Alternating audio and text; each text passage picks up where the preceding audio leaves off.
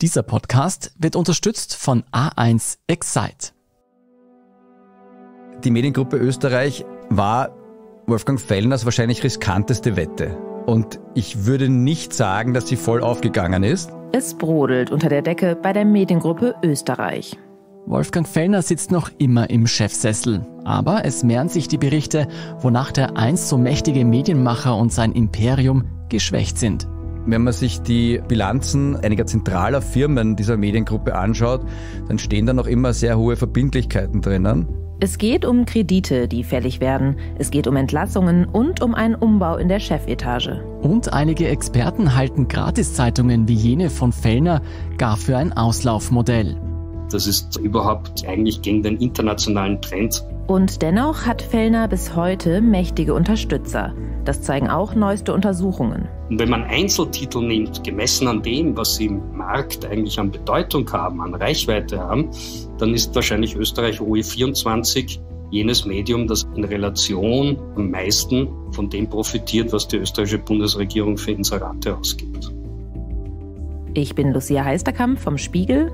Und ich bin Jolt Wilhelm vom Standard. In dieser Folge von Inside Austria fragen wir, wie es um die Zukunft von Wolfgang Fellners Medienhaus steht. Wir gehen den Gerüchten über finanzielle Probleme seines Unternehmens nach und wir schauen, wie stark seine Zeitung weiterhin von Regierungsgeldern profitiert. Und wir ziehen nach fünf Folgen Wolfgang Fellner Bilanz. Was zeigt seine beispiellose Geschichte über Medien, Macht und deren Abgründe?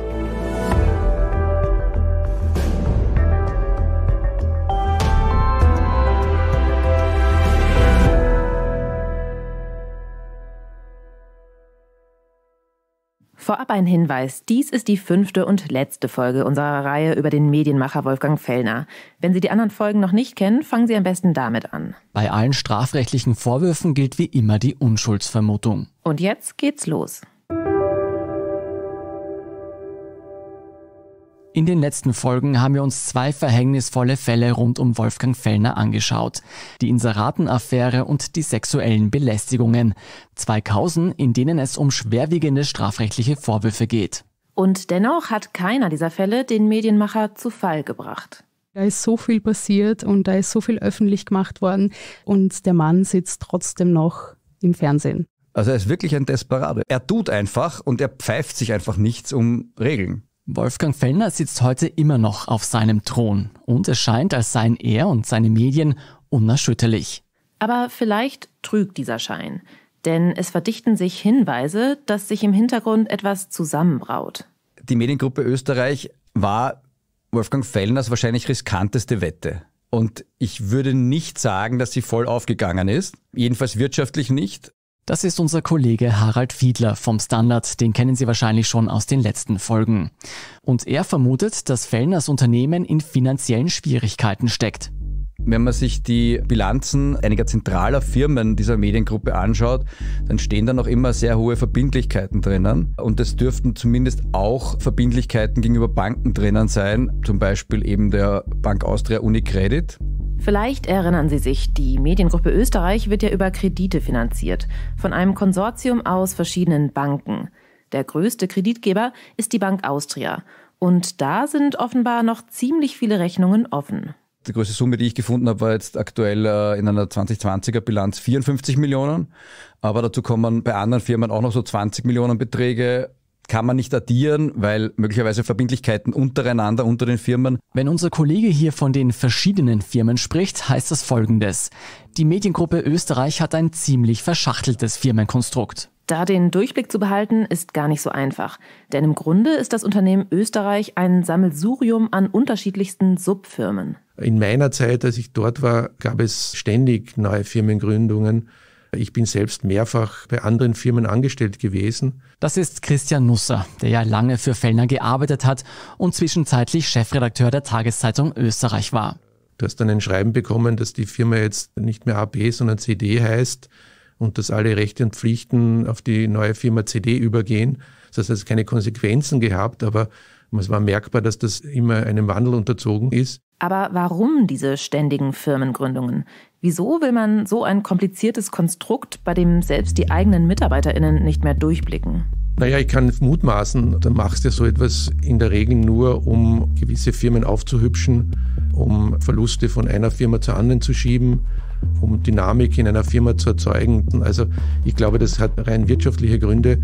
Weil es so viele unterschiedliche Subfirmen gibt, ist es jedenfalls nicht leicht herauszufinden, welche Firma jetzt welche Kredite aufgenommen hat. Aber es gibt jedenfalls relativ große Verbindlichkeiten offenbar. Das ist jetzt 15 Jahre nach dem Start. Könnten die theoretisch bei einem Riesenerfolg schon möglicherweise weniger sein, sagen wir mal so. Es gibt noch weitere Hinweise dafür, dass Fellners Mediengruppe von einem Riesenerfolg zumindest ziemlich weit entfernt ist. Schon im Dezember 2021, also kurz nach dem Aufliegen der Inseratenaffäre, geht beim österreichischen Arbeitsmarktservice eine Warnung ein. Das Arbeitsmarktservice, das ist so etwas wie das Arbeitsamt in Deutschland. Die haben eine Art Frühwarnsystem für bevorstehende Kündigungen großer Unternehmen. Und dort meldet Fellners Konzern Ende 2021, es könnten bald Dutzende MitarbeiterInnen im Haus entlassen werden. Wie vielen MitarbeiterInnen tatsächlich gekündigt wird, wissen wir nicht. Aber im Redaktionsgebäude wurde jedenfalls ein ganzes Stockwerk geräumt. Und dann passiert noch etwas. In der aktuellen Situation ist es jetzt so, dass plötzlich im März 2022 ein neuer Geschäftsführer bei fünf zentralen Firmen der Mediengruppe Österreich eingetragen wurde. Ein neuer Geschäftsführer, der offenbar über äußerst weitreichende Kompetenzen verfügt. Ohne diesen neuen Geschäftsführer sind keine anderen Geschäftsführer mehr zeichnungsberechtigt alleine. Also wir sprechen hier von Firmen, wo auch Wolfgang Fellner in zwei Firmen Geschäftsführer ist. Der darf nur mehr mit diesem neuen Geschäftsführer zeichnen. Eine Firma von Niki Fellner, eine sehr zentrale. Diese Firmen haben Eigentümer und Finanzierungsfunktionen in der Mediengruppe Österreich. Also nochmal im Klartext. Wolfgang Fellner, der Desperado, der immer seinen Willen durchsetzt, der sich von niemandem etwas vorschreiben lässt, der hat jetzt plötzlich einen Mann an der Seite, ohne den gar nichts mehr geht. Und dieser neue Geschäftsführer, der ist auch nicht einfach irgendwer. Der Mann heißt Andreas Prees und ist Unternehmensberater und spezialisiert deiner eigenen Unternehmensberatung in Hamburg, spezialisiert auf Umstrukturierungen, Restrukturierungen, so heißt das, Sanierungen. Also der hat schon bei der Konstantin Film und anderen deutschen Medienunternehmen sehr auch operativ restrukturiert. Man könnte auch sagen, ein Sanierungsexperte hält jetzt bei den Fellners die Zügel in der Hand. Der dürfte jetzt der zentrale Mann sein für die Zukunft und die zukünftige Aufstellung der Mediengruppe Österreich und was die Familie Fellner dort zu sagen hat. Jetzt fragen Sie sich vielleicht auch, warum sollte Wolfgang Fellner, der doch so unverrückbar über seinem Imperium thront, jemanden in die Geschäftsführung holen, ohne den er nicht mehr allein zeichnungsberechtigt ist? Also wieso legt sich Wolfgang Fellner selbst Fesseln an? Wir können darüber natürlich nur spekulieren. Wolfgang Fellner selbst wollte ja leider für diesen Podcast nicht mit uns sprechen. Aber unser Kollege Harald Fiedler hat einen Verdacht. Ich würde vermuten, dass das von kreditgebenden Banken kommt, mutmaßlich der hauptkreditgebenden Bank Austria. Aber ich habe bis jetzt keine Bestätigungen dafür. Man kann aber wirklich natürlich davon ausgehen, dass die Fellner selbst sich nicht selbst fesseln. Es scheint also irgendwie, als würde Wolfgang Fellner doch nicht ganz so fest im Sattel sitzen, als stünde sein Medienhaus auf wackeligen Füßen. Und dann bricht vor wenigen Wochen plötzlich ein Streit in den sozialen Medien los. Am 19. Juni 2022 setzt Christian Nusser auf der Plattform Twitter eine Kurznachricht ab. Nusser, nochmal zur Erinnerung, ist ja inzwischen Chefredakteur der Gratiszeitung Heute, also der größten Konkurrenz der Tageszeitung Österreich. Und Nusser twittert folgendes. Was in Wien die Spatzen so von den Dächern pfeifen. Montag Bankenkrisensitzung zu Fellner Medien. Die Rede ist von einem stillen Ausgleich. Schuldenablass. Es geht angeblich um Dutzende Millionen Euro, die Fellner erlassen werden sollen. Doch laut Nusser wollen nicht alle Banken mitziehen. Und am Ende des Tweets stellt Nusser noch die Frage, von der Politik hofiert, am eigenen Superlativ überhoben? Das muss man sich mal vorstellen. Ein Unternehmen hat Verbindlichkeiten von Millionen von Euro und dann verzichten die Banken einfach darauf. Aber wieso? Wieso sollten Banken so nachsichtig sein mit Fellner? Wir wissen es nicht und auch unser Kollege Harald Fiedler könnte an dieser Stelle nur spekulieren. Ich kenne die Kreditverträge nicht. Ich weiß nicht, ob die Bank Austria diese Kredite fällig gestellt hat. Aber das Entscheidende ist, wenn die Gerüchte stimmen, die da auf Twitter herumschwirren, dann wollen angeblich nicht alle Banken bei dem Schuldenerlass mitziehen. Und dann stellt sich natürlich die Frage, was passiert, wenn Österreich und OE24 nicht zahlen können, die Banken aber darauf bestehen. Wie heikel die ganze Geschichte ist, zeigt jedenfalls die Reaktion von Fellners Mediengruppe auf den Tweet von Christian Nusser. Sie kündigt nämlich eine Klage wegen Kreditschädigung an, auf Unterlassung und auf Schadensersatz. Denn Nusser habe angeblich falsche und geschäftsschädigende Gerüchte über Kreditvereinbarungen verbreitet. Die betroffenen Banken wollen sich auf Anfragen nicht äußern. Sie verweisen aufs Bankgeheimnis.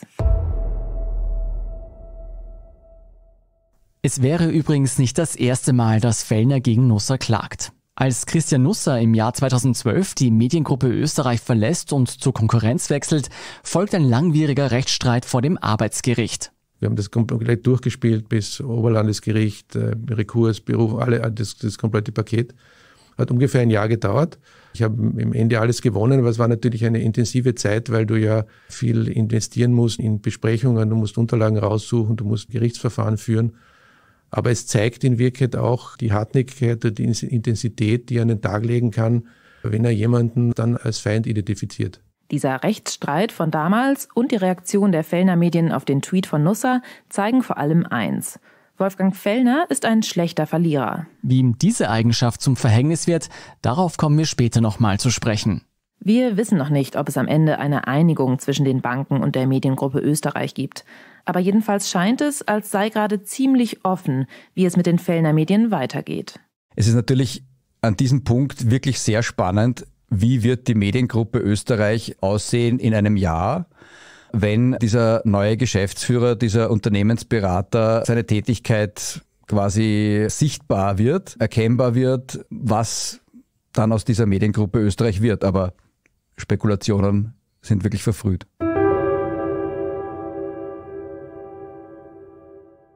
Wir dürfen allerdings eines nicht vergessen, wenn es um die Zukunft der Mediengruppe Österreich geht. Etwas, das auch in dem Tweet von Christian Nusser vorkommt. Von der Politik hofiert. Denn egal auf welch wackeligen Füßen die Mediengruppe Österreich womöglich steht, es gibt da jemanden, der offenbar seine schützende Hand darüber hält. Aber darüber sprechen wir nach einer kurzen Werbepause. Das Feeling, wenn es dein Sommer ist. Geh raus und entdecke die Welt. Damit du das Beste aus deinem Sommer machen kannst, schenken wir dir jetzt zu den A1 Excite-Tarifen 50 Euro Bonus, Gratis-Aktivierung und Top-Smartphones ab 0 Euro. Wie zum Beispiel das Vivo Y52 5G mit 128 GB. Jetzt du im A1 Giganetz.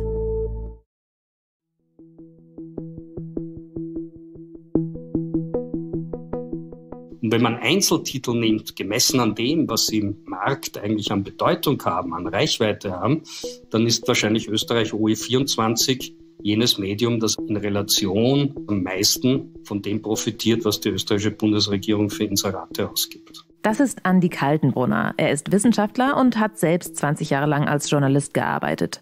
Heute ist er an der Akademie der Wissenschaften tätig und forscht mit dem Institut Medienhaus Wien. In seiner Studie, die am 5. Juli präsentiert wurde, haben sich Kaltenbrunner und sein Team die Verteilung der Regierungsinserate in Österreich angeschaut. Wenn wir die gesamte öffentliche Hand nehmen, das sind dann Bundesregierung, Landesregierungen, Gemeinden, Unternehmen mit öffentlicher Beteiligung, so werden in der sogenannten Transparenzdatenbank zuletzt rund 225 Millionen Euro erfasst. Allein diese Höhe der Ausgaben ist laut Kaltenbrunner durchaus außergewöhnlich. Umgelegt auf Deutschland, das zehnmal so groß ist, wären das also in Deutschland über zwei Milliarden Euro, die öffentliche Hand ausgibt. Das ist bei weitem nicht der Fall. Und Deutschland ist ja oft ein ganz guter Maßstab für uns. Da wird höchstens ein Fünftel oder weniger dieser Mittel ausgegeben, je nachdem, wie man rechnet. Tatsächlich geht das Forscherteam davon aus, dass bis zu 300 Millionen Euro in Medienkooperationen fließen. Fehlende Transparenzgesetze machen es allerdings schwierig, die genauen Geldflüsse nachzuvollziehen. So viel ist aber klar. 45 Millionen Euro davon gab im vergangenen Jahr die österreichische Bundesregierung für Information in Medien, für bezahlte Information aus. Und wiederum 28 Millionen davon, das sind also der Großteil oder ein größerer Teil, weit mehr als die Hälfte dieser Mittel, gingen an Zeitungsverlage. Und das haben wir uns sehr genau angeschaut. Und wie diese Millionen verteilt werden, zeigt noch mal recht deutlich, wieso Österreich laut Kaltenbrunner auch als Boulevarddemokratie bezeichnet wird. Gut 60 Prozent der gesamten Inseratenausgaben der österreichischen Bundesregierung gehen an drei Boulevardzeitungstitel, an die Kronenzeitung, an Österreich OE24 und an heute. Was aber für uns besonders spannend ist, in totalen Zahlen liegt zwar die Kronenzeitung an der Spitze der Inseratenempfänger. Gemessen an der Leserschaft ist allerdings die Tageszeitung Österreich ganz vorne. Kaltenbrunner zeigt das mit einer kleinen Rechenübung. Der Leserkontakt, wenn wir es rein statistisch betrachten, ist 4,12 Euro wert. Das wäre mal so ein Richtwert im Durchschnitt. Allerdings ist das ganz unterschiedlich. Pro Kopf und Leser wird bei Österreich OE24 8,30 Euro, also mehr als das Doppelte investiert, während andere Titel österreichischen Nachrichten oder der Standard mit zwei Euro und ein bisschen was nur halb so viel pro Kopf Ausgaben für die Leserschaft haben. Da fragen wir uns natürlich auch ganz egoistisch, wieso es der Regierung offenbar viermal so viel Geld wert ist, Österreich-LeserInnen zu erreichen, als eben zum Beispiel Standard-LeserInnen. Der ehemalige Bundeskanzler Sebastian Kurz hat das einmal mit einer Formel erklärt, an der man sich orientieren würde. Bei der geht es angeblich einerseits um die Größe der Leserschaft, aber auch um die Auflage der Zeitung. Und das ist, wenn es um Gratiszeitungen geht, die ja immerhin umsonst verteilt werden, ziemlich problematisch. Das sehen wir als, aus sozusagen Forschungssicht kurios, weil das ist eigentlich eine Förderung für eine bestimmte Produktionsbedingung. Das hat ja nichts damit zu tun, ob man jetzt Leute erreicht. Und das führt strategisch dazu, bei Anwendung dieser Formel, dass mehr Geld an Gratiszeitungen geht, weil Gratiszeitungen müssen besonders viele Stücke herstellen, um irgendwie ein Publikum mitzunehmen, während Abo- und Kaufzeitungen ja relativ genau wissen, wen sie erreichen, deswegen zielgerichtet produzieren können. Dazu kommt, dass auch diese Formel, von der Sebastian Kurz mal gesprochen hat, bei der Inseratenverteilung offenbar nicht wirklich berücksichtigt wird. So haben etwa das Innenministerium oder das Landwirtschaftsministerium gleich 90 Prozent ihrer Inseratenaufwendungen an die drei großen Boulevardzeitungen verteilt. Und nur 10 Prozent gingen an alle übrigen Printmedien. Und dabei fällt auf, alle Ministerien, die den Boulevard und speziell Österreich überproportional gut mit Inseraten versorgen, sind in ÖVP-Hand. Beim grünen Koalitionspartner läuft das ganz anders ab. Was wir auch sehen, gerade jüngeren Datums, ist, dass sich insbesondere das Umwelt- und Klimaministerium, das von den Grünen geführt wird, um eine sehr breite Streuung nunmehr bemüht, dieser Informationsausgaben. Das heißt auch, dass der Anteil der Zeitungserlöse zurückgeht an den gesamten Informationsausgaben, weil Zeitungen ja nicht mehr so bedeutsam sind. Und es das heißt, dass breiter gestreut wird und offensichtlich Pläne gemacht werden. Weniger nachvollziehbar sind da eben die Ausgaben der türkisen Ministerien. Das Motto dort lautet offenbar, jeder macht, was er will und das zum Teil nach möglicherweise persönlichen und parteipolitischen Befindlichkeiten.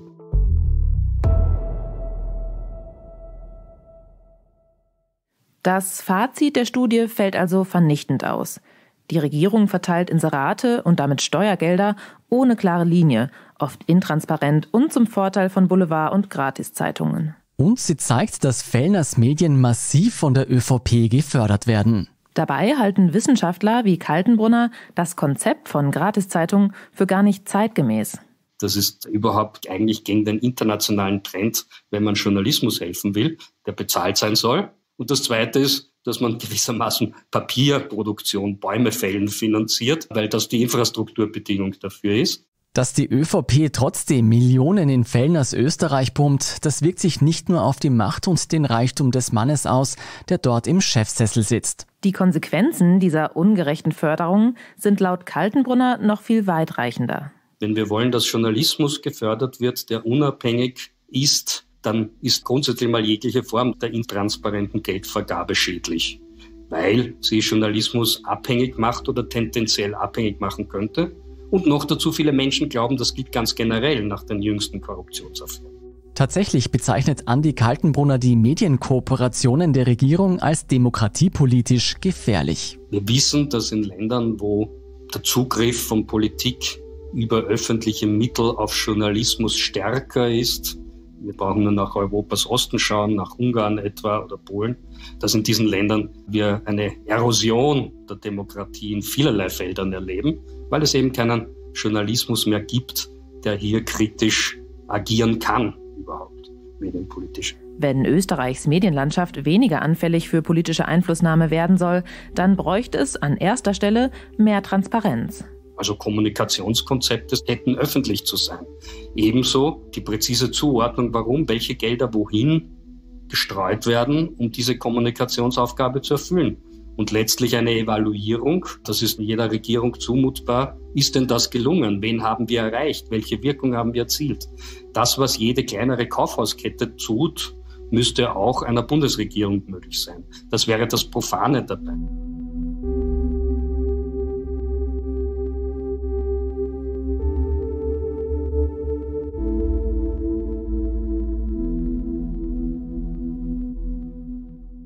Die neue Studie von Kaltenbrunner macht eines ganz deutlich. Die Mediengruppe Österreich hängt am Tropf der aktuellen Regierung. Denn deren Inserate machen einen bedeutenden Anteil der Einnahmen aus. In Gruppen wie Österreich liegt das jenseits der 20 Prozent, jetzt bei aller Vorsicht sogar gerechnet.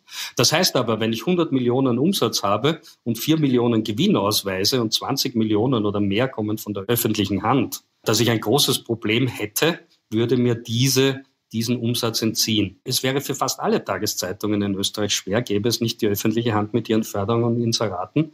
Aber weit überproportional ist der Anteil der Bedeutung bei den Gratiszeitungen, die ohne öffentliche Hand und ohne Ausgaben nicht existenzfähig wären. Man kann sich jetzt natürlich fragen, wenn Gratiszeitungen tatsächlich ein Auslaufmodell sind, wie Kaltenbrunner es sagt, und wenn die Mediengruppe Österreich womöglich in großen finanziellen Schwierigkeiten steckt, wie lange will die Regierung noch Millionen an Steuergeldern in Wolfgang Fellners Firma stecken? Und was würde mit der Mediengruppe Österreich passieren, sollten die Gelder aus den Regierungsinseraten irgendwann mal wegfallen? Sollte die ÖVP einmal nicht mehr in den Ministerien sitzen? Über eine Änderung dieses Inseratensystems wird zumindest schon länger diskutiert. Darüber hatten wir auch schon in der dritten Folge dieser Serie gesprochen. Aber noch ist wirklich offen, wie es in Zukunft mit Fellner und seiner Mediengruppe weitergeht. Ob er es am Ende mal wieder schafft, sich irgendwie durch die Probleme durchzuwurschteln, wieder einen Deal dreht und irgendwen zu seinen Gunsten einspannt. Oder ob letztendlich doch alles in sich zusammenfällt.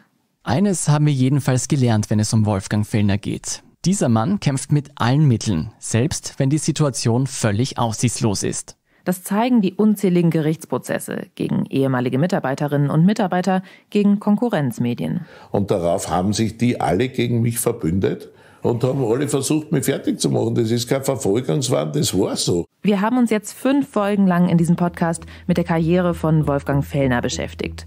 Und was dabei ziemlich klar geworden ist, Fellner ist jemand mit vielen Gesichtern. Wir haben mit Weggefährten wie seiner langjährigen Mitarbeiterin Claudia Schanzer über den jungen und charmanten und irgendwie auch ziemlich brillanten Fellner gesprochen total sympathischer, super informierter Typ, sehr am Punkt, der einfach jede Geschichte sofort erkennt und zwar was an ihr interessant ist. Und mit ehemaligen Mitarbeiterinnen wie Raffaela Scharf über seine dunkelsten Seiten. Und ich wollte einfach nie wieder irgendwie mit diesem Mann gemeinsam irgendwo sitzen, gemeinsam arbeiten müssen. Es bin mir einfach so geekelt. Wir haben die Geschichte über Wolfgang Fellner nicht nur erzählt, weil wir ihn als Menschen spannend finden, sondern weil sein Werdegang für noch viel mehr steht. Seine Geschichte zeigt, wie ein einzelner Mann in kürzester Zeit zu sehr viel Macht kommt und wie seine Macht schließlich so groß wird, dass er selbst darüber stolpert. Also ich glaube, dass es in seinem Leben drei Phasen gegeben hat. Die eine Phase war die Lern- und Aufstiegsphase. Das war alles, was so unter Rennbahn-Express und Pasta fällt. Am Anfang war die Geschichte von Wolfgang Fellner die eines Jugendlichen mit großen Ambitionen. Die Karriere des Wolfgang Fellner und auch, natürlich muss man immer dazu sagen, des Helmut Fellner, seines jüngeren Bruders, beginnen an einem verregneten Tag, wo man nicht Fußball spielen kann. Ein junger Mann mit Vision, der sich lieber in große Projekte stürzte, als Fußball zu spielen. Und der sehr schnell verstanden hat, wie er von anderen genau das bekommt, was er will. Also den Führungsstil kann man gerne als Zuckerbrot und Peitsche äh, nennen. Der ist auch gnadenlos Politikern gegenüber. Er schreibt sie rauf und runter, wie es ihm halt zunutze ist. Egal, mit wem wir über Fellner gesprochen haben, immer wieder hieß es, dieser Mann ist ein Exzentriker. Völlig authentisch, aber auch unberechenbar. Er kann von der einen auf die andere Sekunde einen cholerischen Anfall bekommen er läuft rot an, er hüpft. Es ist so, als würde Rauch aus den Ohren kommen. Also er verstellt sich null. Man kann sich eigentlich jede Beschreibung von ihm ersparen, wenn man einfach sagt, schauen Sie sich die Sendung an, die er moderiert. Das ist er, ja. Ja, Gewinner bedeutet nicht, dass du sie bekommst, sondern du darfst dich darum bewerben. Geist, gehen wir in eine Werbepause. Ich würde die Sendung gerne ohne Gewaltübergriffe zu Ende bringen. Kurze Werbepause und dann diskutieren wir über das Wort, das vielleicht auch auf euch zwei zutreffen könnte. Heiseln. Heiseln. Wir sind gleich wieder zurück mit den Heiseln. Und mit dieser unverstellten, direkten Art hatte er es früh sehr weit nach oben geschafft. Dann war die Gipfelphase, die war eindeutig der Newsverlag. Da war er auf, auf, der Höhe der Zeit und in seiner Schaffenskraft am effektivsten. Damals jedenfalls war es so, dass sich die Firmen wirklich angestellt haben, um die Inserate, weil es einfach wirklich das Magazin war, in dem die drinnen sein wollten. Aber sein exzentrischer Charakter sollte ihm schließlich zum Verhängnis werden. Denn wer nun nach seinem eigenen Willen geht, nicht nach rechts und links schaut, nicht auf KritikerInnen hört, der sieht die Welt bald nur noch so, wie sie ihm gefällt. Wenn eine Wahrheit nicht in sein Konzept passt, dann sagt er etwas anderes. Was es nicht geben darf, gibt es einfach nicht. Und dann die, die Abstiegsphase, die meiner Ansicht nach mit Österreich eigentlich begonnen hat. Gar nicht merkbar wahrscheinlich für ihn und für die Außenwelt. Aber ähm, alles, was im neuen Jahrtausend geschehen ist, da fällt ja ganz wenig darunter, was man als Erfolg bezeichnen kann. Vielleicht war Fellners Macht irgendwann so groß, so konzentriert, dass ihm ein Korrektiv gefehlt hat. Fellner fehlte womöglich jemand, der ihn auf den Boden bringt. Jemand, der ihm sagen konnte, wo sein Blick auf die Wirklichkeit nicht mehr mit der Realität übereinstimmt und wo er Grenzen überschreitet. Die Mediengruppe Österreich und Wolfgang und Helmut Fellner sollen Thomas Schmid und einen weiteren Beamten bestochen haben. Und zwar haben sie sie bestochen mit guter Berichterstattung über Sebastian Kurz Wolfgang Fellner hat sich ja mit der Mediengruppe Österreich seine eigene Burg, sein eigenes Schloss gebaut. Also es gibt ja niemanden über ihn. Und irgendwann muss dieser machtbesessene Mann, dem sich niemand mehr entgegenstellen wollte, geglaubt haben, dass er einfach alles machen kann. Das war der Moment, in dem seine wohl dunkelste Seite zum Vorschein kam. Er ist dann mit mir die Stufen nach unten gegangen zum WC und hat den Arm um meine Hüfte gelegt und äh, mich an sich gezogen und ist dann mit mir so aufs Klo gegangen und ich habe mir gedacht, oh mein Gott, ich weiß nicht, was da jetzt passiert. Doch am Ende war es wohl der Irrglaube, dass seine Macht grenzenlos ist, die Wolfgang Fellner stolpern ließ. Also eigentlich kann man sagen, es ist so eine never-ending Story und eigentlich müsste doch jemand einmal dahinter stehen und sagen, bitte, jetzt hörst du mal auf mit dem. Lass es einfach. Aber er hat es nicht sein lassen. Wie blicken seine ehemaligen MitarbeiterInnen Claudia Schanzer und Christian Nusser heute auf Fellner? Er hat viele mitgerissen. Er ist ein, ein, Typ, der in der damaligen Situation Menschen dazu gebracht hätte, über glühende Kohlen zu gehen. Das war in Wirklichkeit jemand, der viermal eine Lüge erzählt und beim fünften Mal glaubst du es ihm trotzdem. Das ist mittlerweile alles abgeblättert, weil, weil einfach der Verlag und das, die Medien, die er betreibt, nicht mehr diesen Nimbus haben, den der Newsverlag in seiner Hochblüte hatte. Er war damals, ich erinnere mich, in den Newszeiten noch ein sehr empathischer Mensch, was seine Mitarbeiter betroffen hat. Also es gab ja da ein, zwei Krebserkrankungen von Mitarbeitern, da hat er sich fast rührend gekümmert, dass da Ärzte aufgetrieben wurden, dass die gut betreut wurden.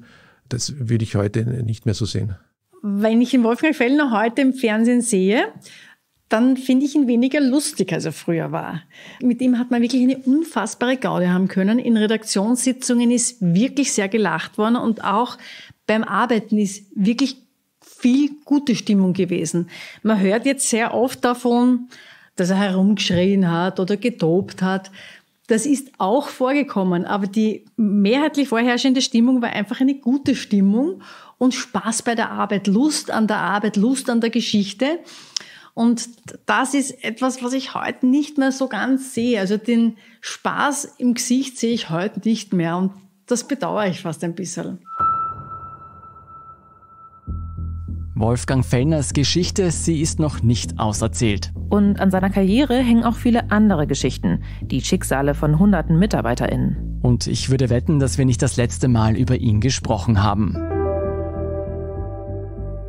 Inside Austria hören Sie auf allen gängigen Podcast-Plattformen, auf der Standard.at und auf spiegel.de. Und bevor wir jetzt zum Abspann kommen, an dieser Stelle noch ein Hinweis in eigener Sache. Das war vorerst tatsächlich meine letzte Folge Inside Austria. Ich verabschiede mich bis 2023 in die Elternzeit. Mein Platz wird meine liebe Kollegin Antonia Raut einnehmen. Also ich werde dich auf jeden Fall sehr vermissen, Scholt, und hoffe, du bleibst uns zumindest noch als treuer Hörer und mit Kritik und Feedback im Hintergrund erhalten. Ja, das sowieso. Hinter den Kulissen werde ich sicher noch herumschwirren. Kennst mich ja. Es war mir jedenfalls auch eine große Freude und Ehre, mit dir diesen Podcast gestalten und mitmoderieren zu dürfen. Und ich freue mich sehr auf eure kommenden Folgen gemeinsam. Ich werde auf alle Fälle als treuer Hörer erhalten bleiben. Und wenn Ihnen dieser Podcast genauso gut gefällt wie mir, dann folgen Sie uns doch am besten auf Apple Podcasts, Spotify oder wo auch immer Sie Ihre Podcasts am liebsten hören und lassen Sie uns auch gleich ein paar Sterne da. Kritik, Feedback oder Vorschläge zum Podcast wie immer gerne an insideaustria.spiegel.de oder an podcast.derstandard.at. Unsere journalistische Arbeit können Sie am besten mit einem Abonnement unterstützen. Alle Infos zu einem Standard-Abo finden Sie auf abo.derstandard.at.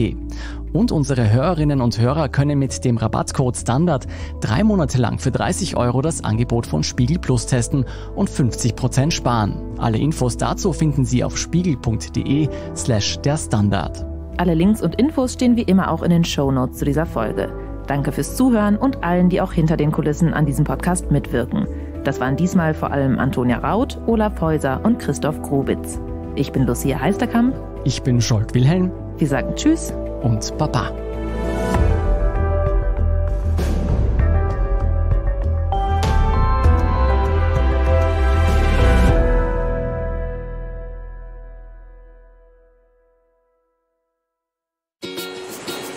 Das Feeling, wenn es dein Sommer ist. Geh raus und entdecke die Welt. Damit du das Beste aus deinem Sommer machen kannst, schenken wir dir jetzt zu den A1 Excite-Tarifen 50 Euro Bonus, Gratisaktivierung und Top-Smartphones ab 0 Euro. Wie zum Beispiel das Vivo Y52 5G mit 128 GB. Jetzt du im A1 Giganetz.